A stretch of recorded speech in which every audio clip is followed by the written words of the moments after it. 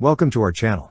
Don't forget to subscribe and put likes, because your support is important for us. And here we go. The U.S. Army granted BAE Systems a contract worth $754,335,634 for the acquisition of additional Armored Multipurpose Vehicles, AMPVs, with an expected completion date of February 28, 2027.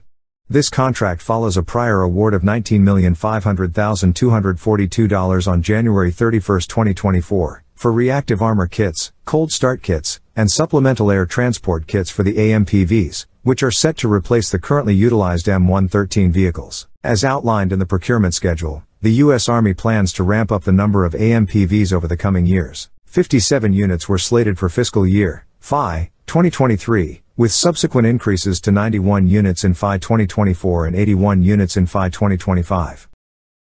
The plan further includes a rise to 122 units for both FY 2026 and FY 2027, followed by 131 units for FY 2028, before declining to 87 units for FY 2029.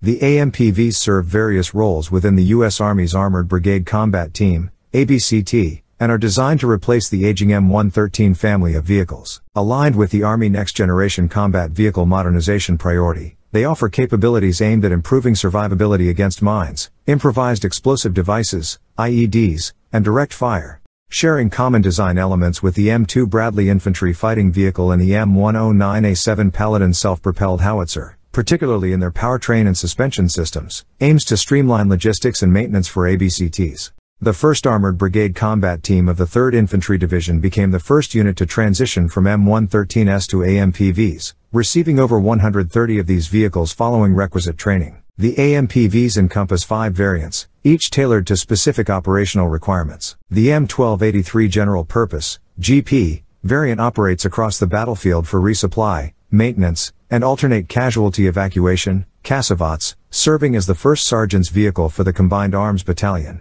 It accommodates a driver, commander, and four soldiers and can be reconfigured for CASEVACs to accommodate a supine litter casualty without interference. The M1284 Medical Evacuation Vehicle, MEV, is equipped with medical treatment facilities, offering reconfigurable ambulatory capacity for up to six personnel or evacuation capacity for up to four litter patients. Its equipment is akin to that of civilian ambulances, enhancing medical capabilities in the battlefield.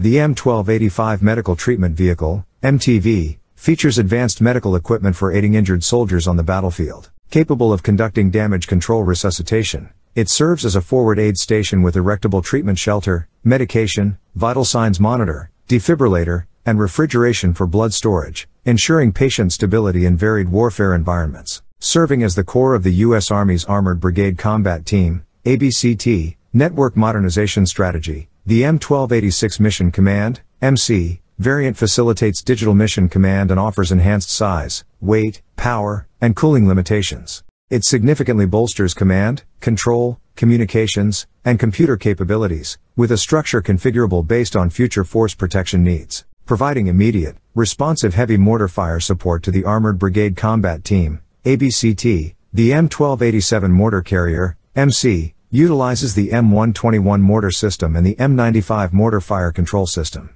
Besides logistical resupply and casualty evacuation, it supports command post operations and heavy mortar fire support, ensuring versatility and agility for various missions.